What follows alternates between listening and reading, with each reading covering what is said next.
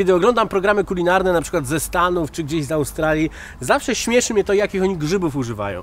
Max to pieczarka. W Polsce są cudowne grzyby. Ja mam dzisiaj tutaj piękne borowiki i wrzucę je na grilla. Tak, zrobię je na żeliwnej płycie z masełkiem.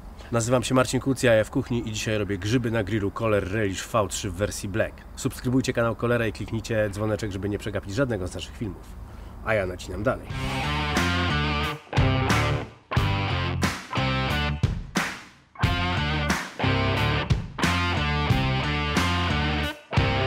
Do tego dania potrzebujesz grzyby, śmietanę, masło, olej, sól, pieprz i mikrozioła. Ładny, zdrowiutki grzybek. Tu mu troszeczkę dupkę. O, o, do piekła. Cyk, cyk, cyk. Ciach, ciach, ciach i tego ostatniego. Piękny polski grzyb, a nie jakaś nudna pieczarka. Wszystko dzieje się bardzo szybko, więc grzyby zostają posolone. Na płytę wjeżdża masło. Jest tutaj łyżka masła. Żeby masło się nie spaliło, dodajcie oleju. I teraz na to wszystko lądują grzyby. To będzie pyszne. I teraz ściągamy temperaturę. Jak robicie coś takiego, to możecie powiedzieć: Zrobiłem borowiki na Buer Noisette, czyli na palonym maśle. Piękna orzechowa sprawa. O tak. Grzybki robią się naprawdę błyskawicznie i pięknie będą smakowały. Jeżeli lubicie połączenie grzybów z czosnkiem, to możecie tam kawałek czosneczku wrzucić, ale musicie go pilnować, bo szybko może się spalić. Pięknie.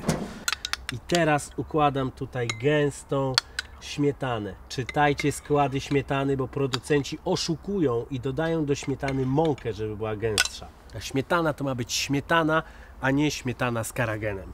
I teraz na śmietanę lądują borowiczki. No proszę Państwa, no jakie to jest cudowne.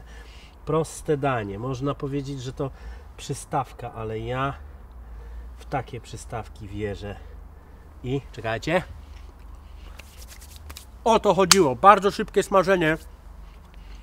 Mmm, cud. Sól. I teraz wjeżdżamy w ziółka.